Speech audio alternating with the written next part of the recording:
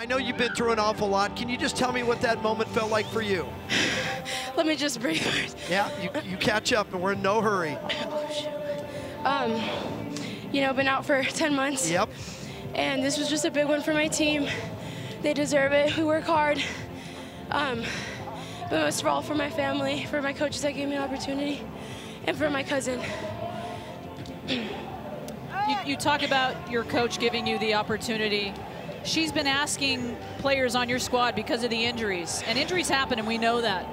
For players to play inspired and step up, um, you answered that question for her tonight. How'd you do it?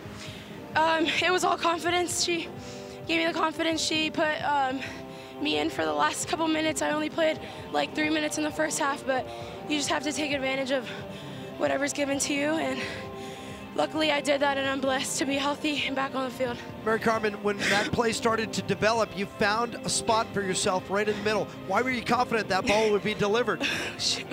um, just, I know my team, I know the people around me, and I know um, the balls that are going to get in the area. So I try to get in those spots, and, you know, luckily I, I got the opportunity. and I was there to finish it for them. We had a we had a close-up of you in slow motion just moments ago. I know you don't have a monitor, but after you scored it, after the dog pile, you got back up, you did a heart symbol with your fingers, and then you kissed your, your wristband. What did yeah. it all mean?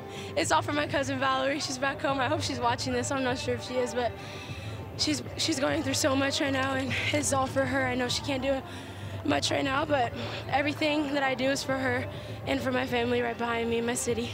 Well, that was a that was an inspirational moment for you, and you rescued your teammates because they were having trouble breaking through. You picked the exact right time to come back. For sure. Thank you so, thank you so much. Maricarmen Reyes, welcome back. The game-winning goal for UCLA.